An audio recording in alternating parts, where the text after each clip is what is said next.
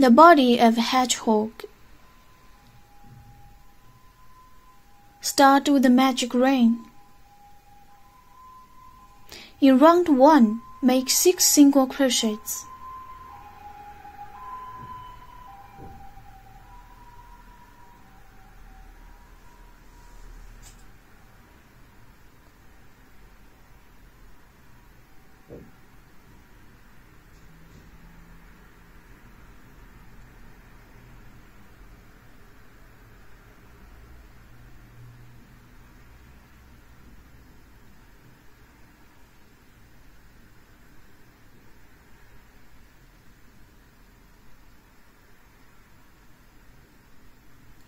Join this round with a slip stitch and make a chain stitch at the beginning of the next round. This is called joined rounds.